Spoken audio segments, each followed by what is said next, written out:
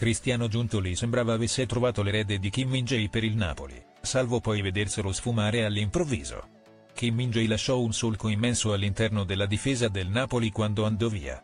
Era arrivato dal Fenerbahce per sostituire l'insostituibile Khalidou Koulibaly, riuscendo anche a fare meglio.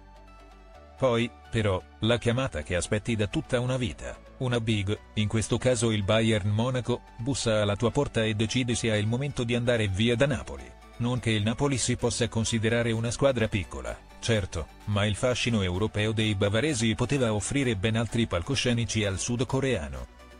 Cristiano Giuntoli prese atto della decisione dell'asiatico di andar via e iniziò a sondare il mercato. Un mercato che non vedeva troppi top player, ma tante scommesse su cui potenzialmente puntare. Una tra queste doveva essere il sostituto di Kim Min-jae, ma quasi tutti sfumarono, l'indiscrezione e retroscena sull'arrivo di Nathan. Secondo quanto emerso negli ultimi giorni, Nathan non era il prescelto per sostituire il sudcoreano. Infatti, l'ex Red Bull Bragantino, attualmente in prestito al Real Betis in Spagna, è arrivato come ripiego dopo che saltarono ben due obiettivi. Il primo, Maximilian Killman, difensore inglese con passaporto ucraino che al tempo giocava con il Wolverhampton.